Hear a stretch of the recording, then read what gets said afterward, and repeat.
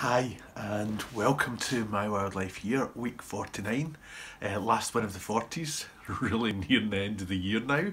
Um, so, yeah, so welcome, and let's see what we've been up to this week.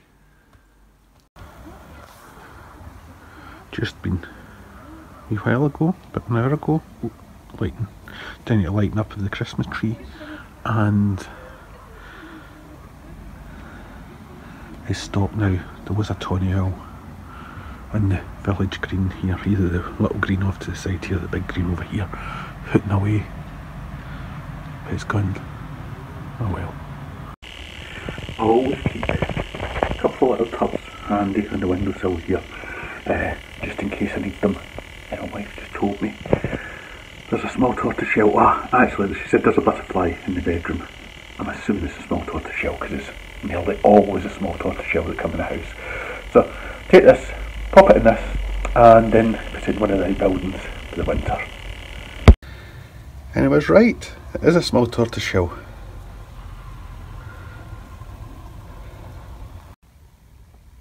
There it is, caught in a little tub, so I'll take it outside now. Right, so we'll go into the cellar here and such on and we'll let it go.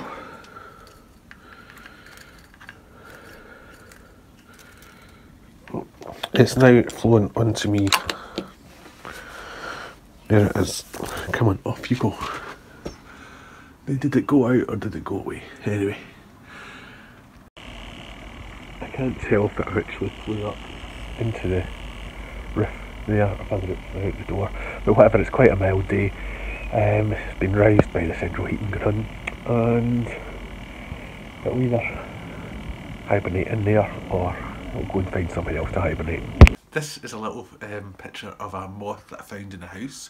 It's called the 20 plumed moth, but it's not actually 20 plumed. The plumes coming come from the sort of like the way the, the wings are into little plumes. Basically, each moth has um, four wings. In this moth, its scientific name, now bear with me because I'm not very good with scientific names. I have enough, uh, I really struggle with other languages and scientific names. I struggle enough with English as it is, as anyone that's watched My Wildlife Year will know. Uh, I get my, my words muddled up sometimes. So uh, scientific names quite often I struggle with. So the 20 plume moths is Alucita hexadactyla. Now, uh, I've put it up on the screen so that you can actually see how it's pro you know it should be uh, written.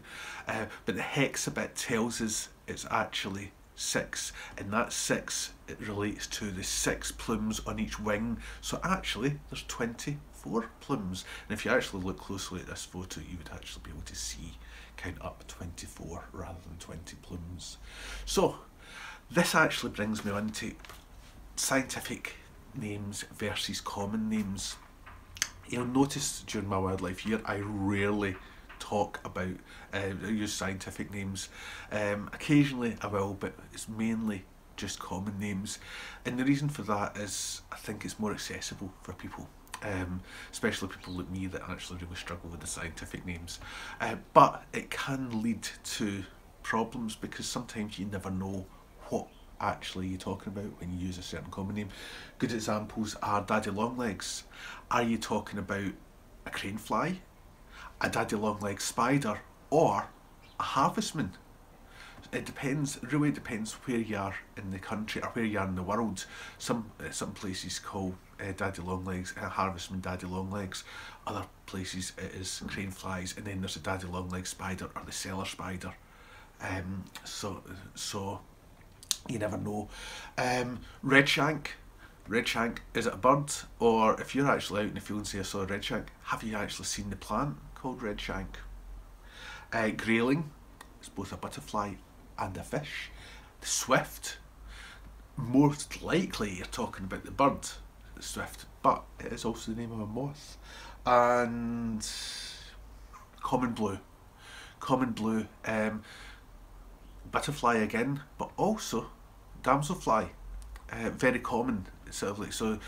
You know, if you're actually just looking at a list of wildlife that was seen that just says common blue, you don't know whether it was butterfly or damselfly. Obviously, if it was a list of butterfly species and it says common blue, there's a good chance that it is actually a butterfly. So yeah, so you never know uh, that. So sometimes, especially if you're recording wildlife, it's actually really good to put down the uh, the, uh, the, the scientific name. Now, it's fine. You can just use common names if all you're doing is one species group like butterflies or moths. Just use the common names. That's fine. But if it's mi mixing up, sometimes it's actually better to maybe put the uh, common name with the scientific name next to it, just so that if you send those records to somewhere like your local environmental record centre, they know which species it is you're talking about.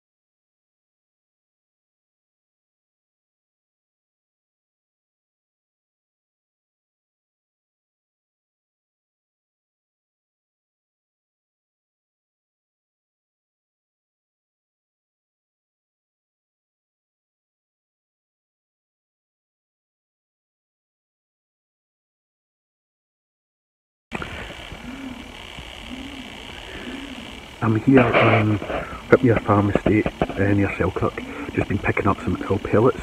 Uh, Tail is the uh, farm manager here, the estate manager here, really into wildlife. This is a great estate, it's managed, you know, as a you know, farming estate, but lots of uh, wildlife too. You can actually see four bird boxes up there, and this sort of like, you know, down here, it's so rich in wildlife. It's one of the most recorded sites um, around and just up there, bat box.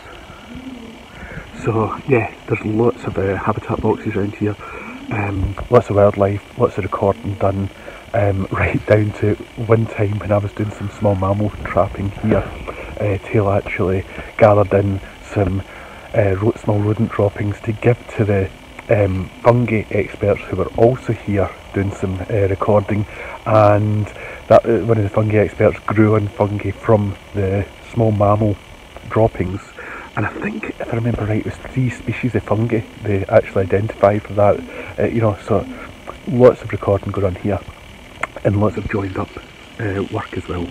So really excellent. Another bit of the steading and there's another bat box up there and also during the summer quite often there's a single, probably a male uh, pipistrelle sort of like down in that gap just there. Um, can't really see it and I'm not going to go and uh, shine a light in it. I don't think the bat's there just now but I'm not going to go and disturb it. But there's a lot of bat droppings down the bottom there that I can actually see from here. So yeah, so really great and some trees here that are going to be planted as well. Um, the estate unfortunately was hit quite badly by Storm Arwen, so lost quite a few of its um, big mature veteran trees, which is a shame, but that's... I was going to say that's nature, but is it? Are we getting all these storms because of global warming and climate change? You know, probably, maybe. Hopefully Storm Arwen, they're talking about it being a a hundred year event. I'm really hoping it is we really don't want um, events like that any more regularly. Right, well, picked up the pellets from uh, here this morning and I packaged them all up into nice little uh, windows like that and I'm now cooking them in this little oven here thought I better not use the main oven. I'd use the, this uh, tabletop oven. I don't think my wife like it, although she's out, so she doesn't know what I'm doing. Uh, so I'm just cooking them on medium heat for 40 minutes. Uh, just to kill off any bacteria and anything that may have laid eggs in there, sort of like caterpillar, is mollusks that you know, and the caterpillars go to hatch out and then you eat the things. I'm just making sure that basically my owl pellets are kept nice and fresh for when I do owl pellet workshops. Well, my wife didn't know about the uh, owl pellets, but she's got back early, so she does now. But it's okay because she had a slight little prang in the car, uh, the new car that is, um, and there's now a hole, a wee hole in the bumper that she can get a little finger in. So I'm off the hook because I've been sort of very good about that, so she can't say anything about me using it, um, the, the desktop oven for uh, owl pellets. So, well. Right. One thing I've noticed on social media quite a lot recently, and I can actually hear one outside, is a blackbird, and people saying, "Oh, blackbirds um, got um, black blackbirds with black beaks, and they're proper blackbirds. They're, they are black, so they're not brown. The females are more brown, and they don't have a yellow beak. But the blackbirds, black blackbirds, are males, but they're saying they've got they've got black beaks. Oh, and someone will say, "Oh, they're from Scandinavia." No, that's yes, we do occasionally get so like you know we do get some do come over from Scandinavia, but whole basically a black beak tells you is it's a young blackbird. It's not to do with where it's actually come from geographically. It's basically young blackbirds in their first year still have a black beak, so they won't develop that yellow beak until next year's breeding season. So yes, blackbird with a black beak. It's not from Scandinavia or Europe. It's just a young one. So there, another myth busted. Been quiet for a few days, but I've got another wood mouse in the humane trap in the kitchen. Look at me. And I've just noticed this trap here has also been tripped, so that looks like two mice. I'm guessing a mouse, almost certainly. It was indeed a wood mouse. There it is. Big ears, big eyes, and a long tail. And it's a female. I already knew this one was a wood mouse because this was the one that was in the big trap and looking at the rear end I reckon another female but we'll see. Wasn't indeed right, it is another female. I've just received this in the post. Um, the, the craft fair that I took part in as uh, as one of the wildlife specialists in November. Uh, it was run by Jane from uh, Beneath the Badger Tree.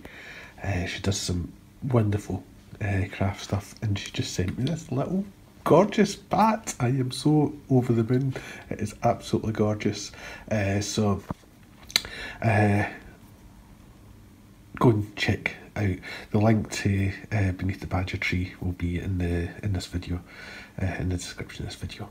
Okay, so go and check it, check her out. Right, so I'm just going away for an overnight to lead a training workshop in small mammals, and so I'm just cleaned out Chonky, give, put in uh, half a dozen mealworms and some water just to, to keep her going until I get back tomorrow evening. Um, probably a bit more than I would normally give her in a day, but it's just a little treat for her. Right, I'm here at RSPB Lochwinnoch uh, to lead a mammal workshop. It's been my first in-person workshop in well over two years, so I'm really excited. We're doing it outside, we've got some marquees over there, so really looking forward to it. Uh, got some mammal tunnels out, unfortunately I haven't been able to put mammal traps out, and I've got owl pellets as well for dissecting, and a few other bits and pieces to look for tracks. I've got some poo and bones um, with me as well. So yeah, really looking forward to the day, as long as the weather stays okay. A bit drizzly just now, but we've got the marquees, so we should be able to stay dry for most of it. So, it's a wee bit yucky today to say the least. Um, I don't know how you can see that. It's very rainy very wet. Um, you can hear that there's rain running off the top of the gazebos, pop-up gazebos. But we've had two people turn up for the um, event, so the workshop. So we've covered, the tracks, uh, tra- track, uh, mammal track tunnels out this morning. Uh, we've got some wood mice um, tracks, and we've also talked about um, other tracks and signs, such as we never went out because basically we weren't going to find any signs in this. Any footprints would be, you know, washed away and whatnot, and any poo was likely to be washed away too. So, uh, but I brought some skulls along, uh, and also some of my poo collection. And what else did we do? Uh, we went looked at some books and that. So this afternoon is owl pellet.